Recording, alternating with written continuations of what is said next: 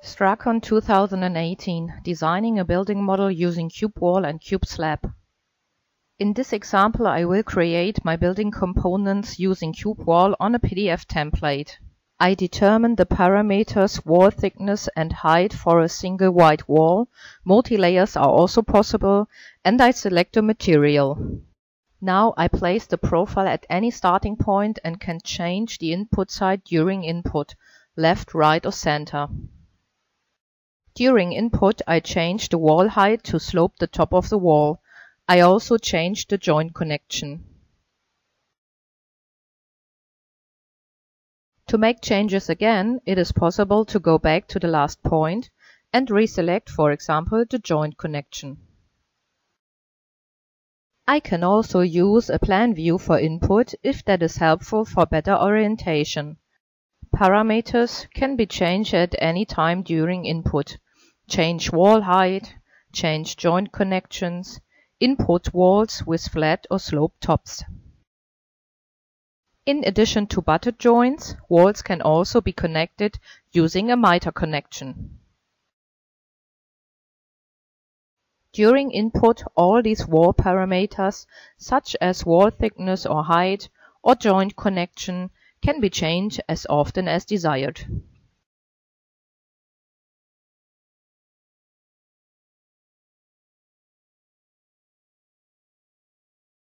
Of course, it is possible to change the wall geometry anytime later, for example the joint connection, where I change the side. The parameters of my wall can also be changed in the object data. I can determine a new wall thickness or wall height here. Additionally, the wall geometry can be changed by using the grip points maybe for moving the top points of the wall to create another height at the beginning and the end of the wall.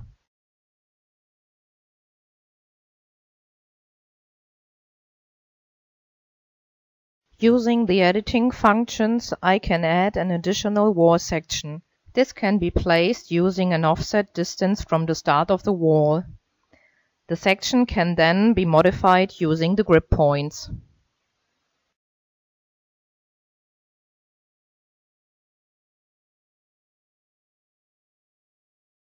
It is also possible to define a jump in the wall section. This can also be refit using the grip points.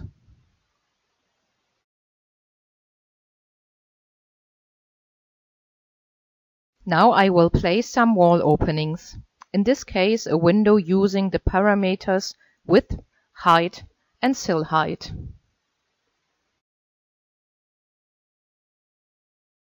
The wall openings work directly on the wall surface, and I can determine the location using a reference point and distance. If a reference point is not determined, it is always placed relative to the start of the wall. The location of an existing window can easily be changed by moving it.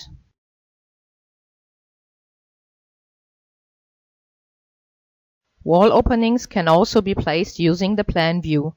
For this I set my walls transparent so that I can reference the points on the PDF template. For exact placement I can also change the input side of the window, right, left and center.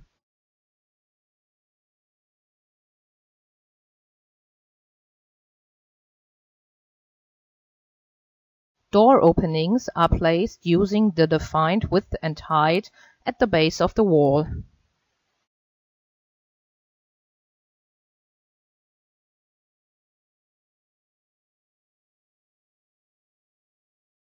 The geometry of wall openings can also be modified using the grip points.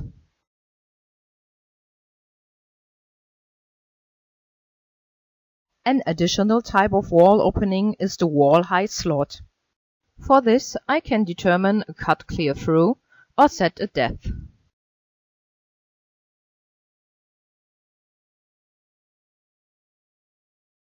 To place the slot, I can use a reference point and distance, for example, just like the window. Coming now to the last function for this video, the cube slab. determine the material and the parameters such as the offset to the input points and the slab thickness. By clicking on corners I determine the outline of my floor slab. During input I can change the offset from inner to outer corners. And now a little time lapse. Input is automatically closed when I reach the starting point once again. Now I can change the side of the slab thickness and also determine additional opening polygons. In this case I simply reuse the points from my PDF template. My floor or foundation slab is now finished. Until next time with Strakon 3D Design.